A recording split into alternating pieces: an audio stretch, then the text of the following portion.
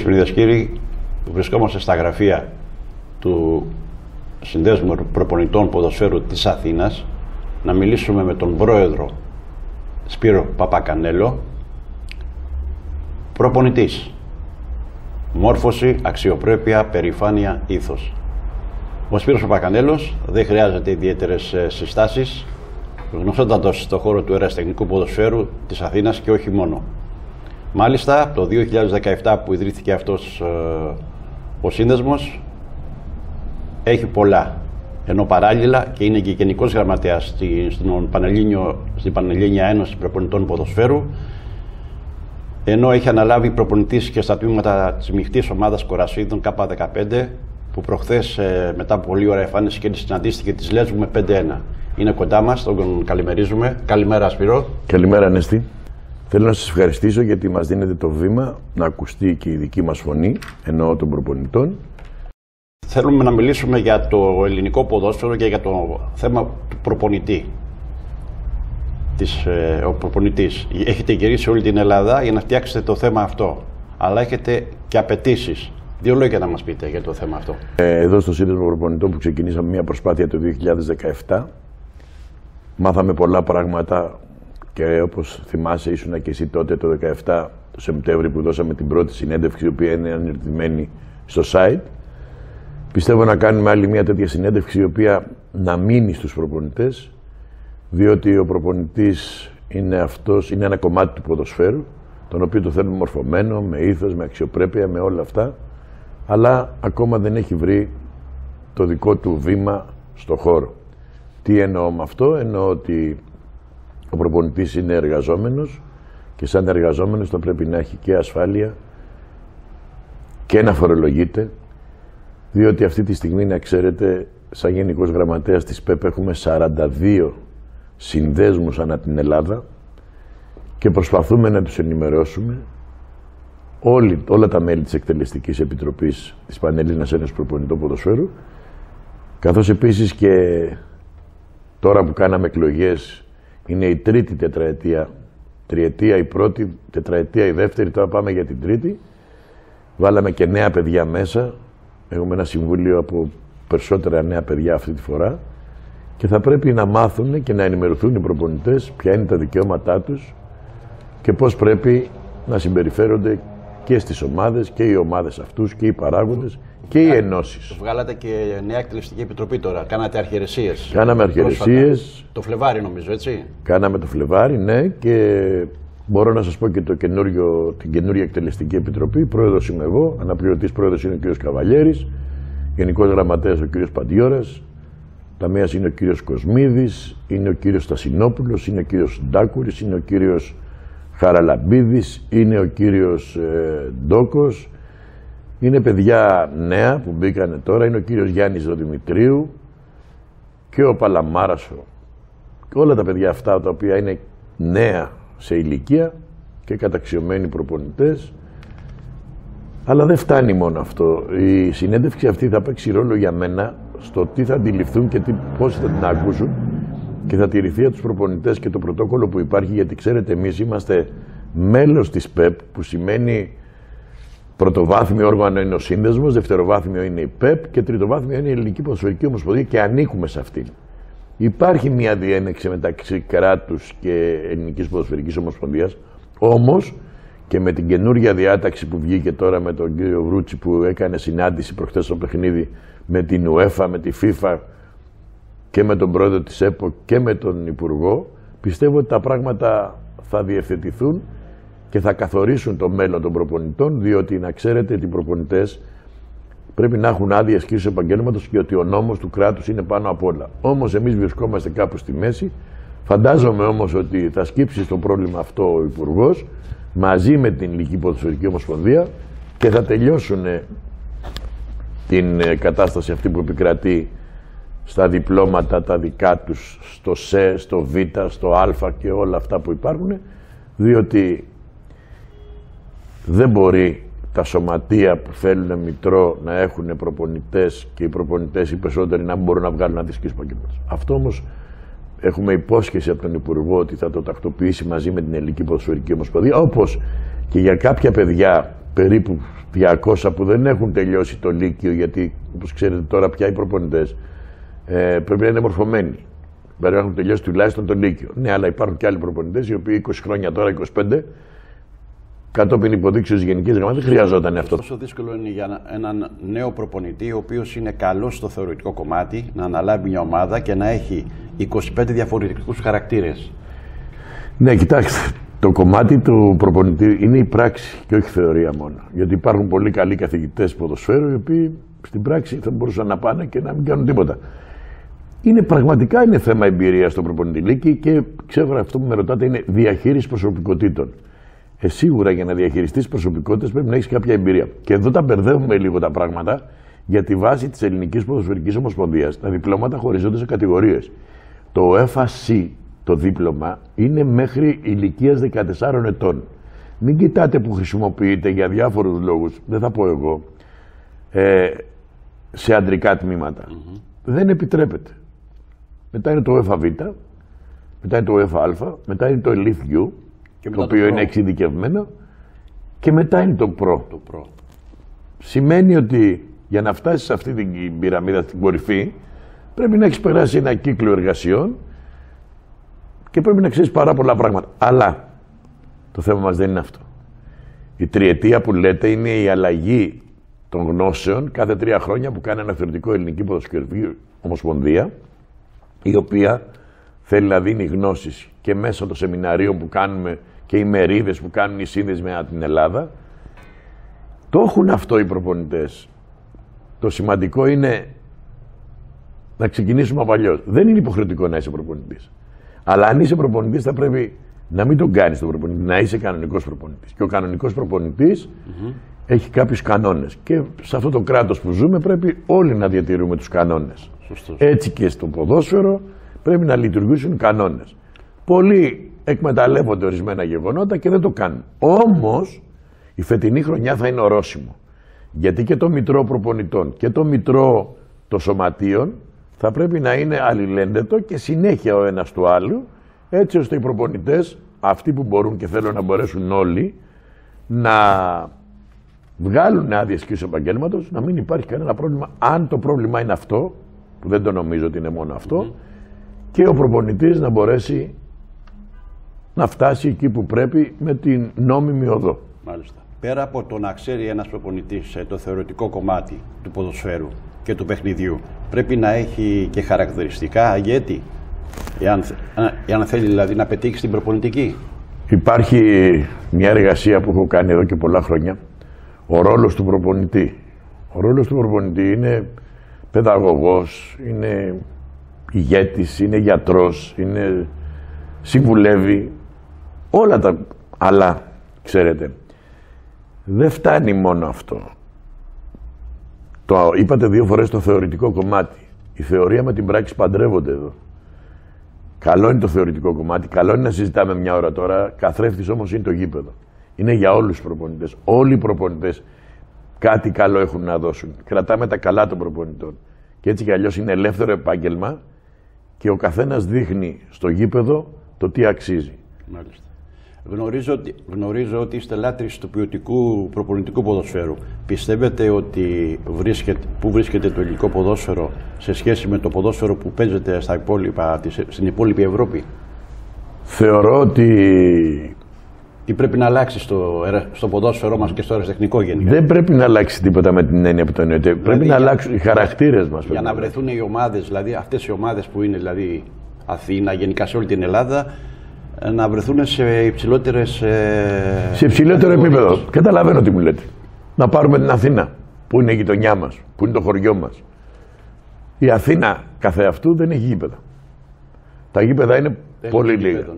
Είναι το Ρουφ, η Ακαδημία Πλάτωνος, μισό γήπεδο και η Αλεπότρυπα πάλι μισό γήπεδο που εκεί και στη μία περίπτωση και στην άλλη είναι από 9 ομάδες. Ε, Πώς θα ανέβει το επίπεδο όταν 9 ομάδες συρρυκνώνονται σε ένα γηπεδάκι για να μπορούν να κάνουν προπονήσεις; Δεν υστερούμε σε κάτι. Το μόνο που εγώ θέλω να πω, γιατί δεν είναι το εραστεχνικό ποδόσφαιρο, η εμπειρία μας είναι και στο επαγγελματικό ποδόσφαιρο και στη Super League 1 και στη Super League 2 και στη γάμα εθνική κατηγορία. Είναι θέμα υποδομών, Θέμα προπονητών, πόσοι προπονητές είναι αυτή τη στιγμή στη Super League 1. Είναι δύο-τρεις. Θα πρέπει να είναι περισσότεροι προπονητές. Εγώ ακόμα, ακόμα και στην Εθνική Ελλάδος θα ήθελα Έλληνα προπονητή. Εγώ. Γιατί πιστεύω ότι έχουμε σχολή ποδοσφαίρου δική μας. Εξάλλου έχουμε καταξιωμένους καθηγητές στην ΕΠΟ που κάνουν μαθήματα και θα μπορούν να κάνουν οτιδήποτε κάνουν οι Ευρωπαίοι, να έχουν ένα λόμπι δικό μας ελληνικό και πιστεύω ότι με την δίπλα μας την πολιτεία, με την Ελληνική Ποδοσφαιρική Ομοσπονδία που έχει τα πρωταθλήματα, εάν το κοιτάξουμε λίγο πιο πολύ, επίσης και με τους προπονητές, έτσι είναι ένα μεγάλο κομμάτι αναπόσπαστο, πιστεύω δεν έχουμε να... γιατί ξέρετε ταλέντο έχουμε.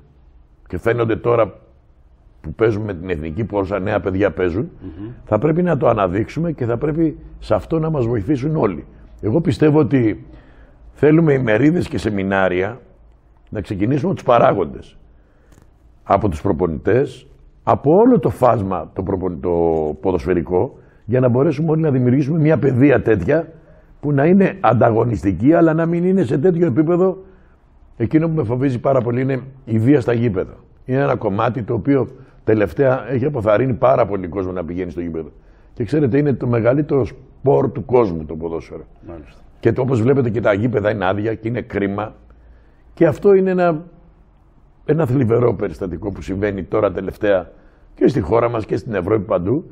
Αλλά περισσότερο σε εμάς με τιμωρίες, με δύο-τρεις μήνες στα άδεια τα γήπεδα. Ε, δεν είναι και τόσο καλό αυτό. Μάλιστα. Και βέβαια θα πρέπει να, και οι ακαδημίες μας να αναπτυχθούν για να είναι σε καλύτερο επίπεδο σε όλες τις ενώσεις. Δυτική Αττική, Ανατολική Αττική, Αθήνα. Γενικά. Πρέπει Πειραιά, όλοι να συνεργαστούν. Πειραιά. Αυτό εννοώ Δυτική Αττική, εννοώ όλο το φάσμα Πειραιά. Όλοι θα πρέπει να, σε αυτό να σκύψουμε και να κάνουμε μια κοινή πορεία παντού. Πιστεύετε ότι υπάρχει έλλειψη ισχυρών παραγόντων στο ελληνικό ποδόσφαιρο και οι άνθρωποι δηλαδή που να το βελτιώσουν και όχι να, το, να κερδίσουν από αυτό; Κατά τη γνώμη μου, κανένας δεν κερδίζει. Κανένας δεν κερδίζει.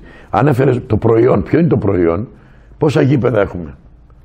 Πόσα γήπεδα καθώς πρέπει. Το είπατε άλλωστε. Είναι το Καραϊσκάκι, είναι το, το Παπαρένα. Ε, δεν νομίζω έχουμε άλλο γήπεδο τέτοιο προϊόν. Δηλαδή πρέπει να ανανεωθούν τα γήπεδα. Έχουμε δύο, παρά... δύο γήπεδα κουμπιά, όπως είπατε. Δύο γήπεδα καινούρια, καινούρια. Θα πρέπει να δημιουργήσουμε γήπεδο, να δημιουργήσουμε αθλητικά κέντρα που να προπονούνται οι ομάδες, ε, θεωρώ ότι είναι αθέμητος ο ανταγωνισμός. Γιατί αν εξαιρέσουμε του τέσσερι μεγάλους που έχουν τα γήπεδα, που έχουν τα χρήματα κτλ., όλοι οι άλλοι ψυχοραγούν, είναι ύξει αφήξει, ε, ομάδες θάβονται από όλων Αθηνών, Φωστήρας. Εγώ μιλάω για την Αθήνα εδώ. Ιστορικές ομάδες. Και προσπαθούν εκ των υστέρων τώρα στη ΓΑΜΑ Εθνική κάποιες ομάδες οι οποίες δεν έχουν καν γήπεδο να παίζουν σε άλλα γήπεδο. Παράδειγμα εκεί φυσικά παίζει σε άλλο γήπεδο από τη συνοικία που υπάρχει στην Κεζαριανή. Και είναι δείγμα δηλαδή ότι οι άνθρωποι αυτοί που βάζουν τα λεφτά τους, που αγαπάνε, που θέλουν να κάνουν, η επόμενη μέρα ποια είναι. Εκεί θα πρέπει να το δουν πολύ σοβαρά. Τι μήνυμα θέλετε να στείλετε σε όλα αυτά τα παιδιά που θέλουν να ασχοληθούν με το ποδόσφαιρο και αν πιστεύετε ότι ο συνδυασμός, δηλαδή μαθήματα και ποδόσφαιρο, μπορούν να συνδυαστούν ε, το ίδιο πετυχημένο; Παγκοσμίως γίνεται αυτό. Και να ξέρετε, παλιότερα οι περισσότεροι ποδοσφαιριστές ήταν αμόρφωτοι γιατί σταματάγαν το σχολείο για να κάνουν αυτό όμως. Ο αθλητισμός ενώνει. Ε, οι ακαδημίες, τα παιδιά, σε αυτή την κοινωνία που ζούμε τώρα που και οι δύο γονείς δουλεύουν, είναι μία όαση. Και ξέρετε κάτι τώρα με την παιδική βία που βιώνουμε στα σχολεία, θα πρέπει, για το ποδόσφαιρο είναι κοινωνικό φαινόμενο. Και οι προπονητές διδάσκονται και κοινωνιολογία και μορφωτικό επίπεδο τέτοιο ώστε να είναι αγκαλιασμένοι όλοι, να μην υπάρχει αντιπαλότητα. Είναι ένα παιχνίδι, πρέπει να το χαιρόμαστε. Δεν είναι ποιος θα κερδίσει, γιατί αποτελούμε και, και κοινωνικό έργο, κύριε Τσακύρογλου, αυτή τη στιγμή σε όλη την κοινωνία, σε όλη την Ελλάδα. Και είμαστε πρώτου κινδύνου ε, που αντιμετωπίζουμε πολλά προβλήματα στη σχολική βία. Άρα λοιπόν υπάρχει μάνα, πατέρας, δάσκαλος, προπονητής. Είναι ένα τετράπτυχο το οποίο θα πρέπει να το αναπτύξουμε, να βοηθεί και η κοινωνία. Εγώ θα τονίσω και οι ενώσεις και η Ποδοσφαιρική Ομοσπονδία και τα σωματεία και οι προπονητές ιδιαίτερα να βοηθήσουν προς αυτή την κατεύθυνση αλλά ακόμα ακόμα κύριε Τσακύριολου και οι γονείς. Είναι πολύ θλιβερό να βλέπεις στην εξέδρα να τσακώνονται οι γονείς γιατί τα παιδιά K6, K8, K10 δεν κερδίζουν ή Και ένα μεγάλο κομμάτι, θα σας παρακαλέσω να το τονίσω αυτό. Πρόσφατα ακούμε δηλαδή ε, στις εξέδρες παίζει ο ιός, η κόρη Ο εγγονός. και, ο εγγονός και μαλώνουν. Ναι, ναι, ναι. Αυτό, Αυτό σας λέω. πρέπει να πάψει. Και πρέπει να τελειώσουμε και κάτι άλλο. Ένα θέμα που θέλω να δείξουμε. Είναι η διαιτησία. Σε λίγο δεν θα υπάρχουν διαιτητές. Αυτή τη στιγμή η Ένωση Ποδοσφαιρικών Σωματείων Αθηνών διακήρυξε ε, σχολή διαιτητών. Σε λίγο θα παίζουν μόνοι τους. Γιατί και τα καινούργια παιδιά που παίζουν όπως είναι οι ακαδημίες είναι και οι διαιτητές. Είναι νέα παιδιά τα οποία θα πρέπει να τα υποστηρίξουμε. Εμείς στην Αθήνα εδώ έχουμε ένα πρόεδρο στην ΕΨΑ, ο οποίος είναι για μένα ο υπαρθμόν ένας άνθρωπος του ποδοσφαίρου, είναι ο Παναγιώτης ο Δημητρίου, ο οποίος προσπαθεί πάρα πολύ και στο διαιτητικό κομμάτι και στο ποδοσφαιρικό και εξυπηρετεί τα σωματεία, αλλά και εγώ από την πλευρά μου, επειδή είμαστε πάρα πολλά χρόνια μαζί, θέλω να εξυπηρετώ τα συμφέροντα των προπονητών. Και σε αυτό τον τελευταίο χρόνο έχουμε μια συνεργασία και πιστεύω ότι την επόμενη σεζόν θα έχουμε ακόμα καλύτερη συνεργασία γιατί οι ενώσεις με τους προπονητές και όλο το φάσμα τους παράγοντες και τα σωματεία είναι ένα. Και εκεί θα έχουν τον ίδιο κοινό σκοπό να γλιτώσουμε την κοινωνία από πάρα πολλά πράγματα, να αναπτύξουμε το ποδόσφαιρο και να μην λέμε να θέλουμε προπονητές μορφωμένους, αξιοπρεπείς, με πάθος, αλλά πολύ λίγα χρήματα, γιατί όλοι εκμεταλλεύονται ένα κομμάτι των ακαδημιών ιδιαίτερα και οι ομάδες και οι παράγοντες και οι προπονητές και οι ενώσεις και η Ομοσπονδία. Όλα αυτά πρέπει να μπουν σε μια συζήτηση και όλοι να έχουμε σαν σκοπό την ανάπτυξη του ποδοσφαίρου, της κοινωνικής βίας, να μην έχουμε τέτοιο πράγμα και πιστεύω ότι θα πάμε πάρα πολύ καλά.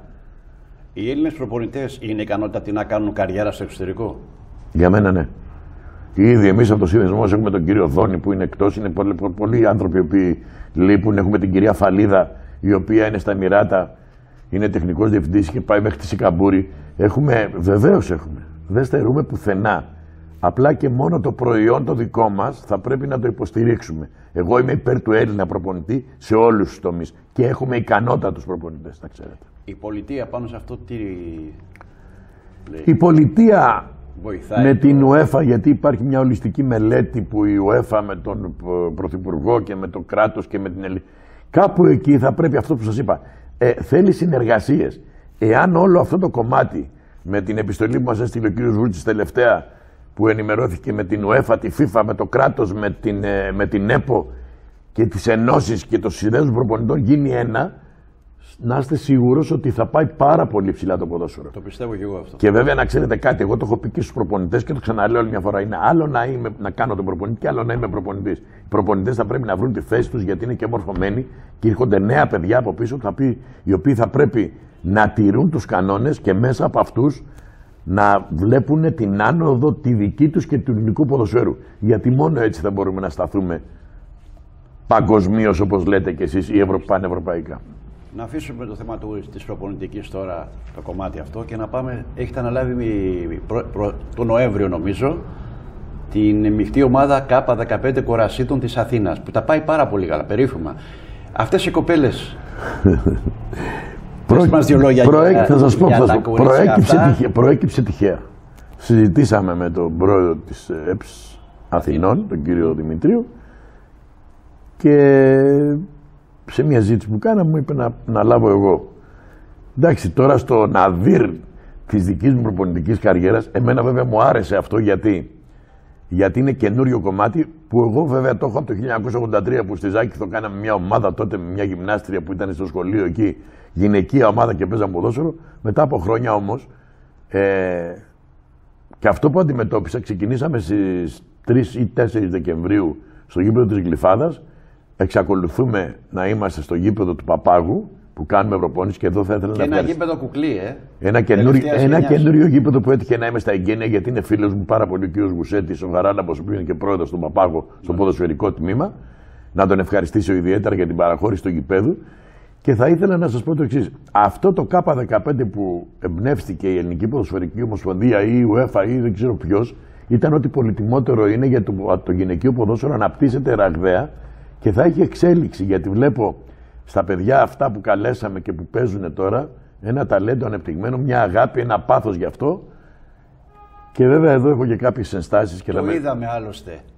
Το είδαμε Ναι, εμείς κάναμε. Υπήρχαμε στο γήπεδο. Η Αθήνα έχει περισσότερες επιλογές από την επαρχία, αλλά και η επαρχία τώρα σιγά σιγά που ξεκινάει ήταν λίγες οι ενώσεις. Φαντάζομαι του χρόνου θα είναι περισσότερες.